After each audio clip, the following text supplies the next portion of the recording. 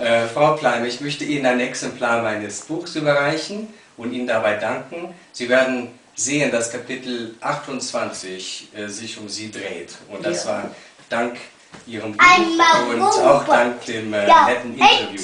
Ja, ich freue mich sehr, dass Sie mich haben.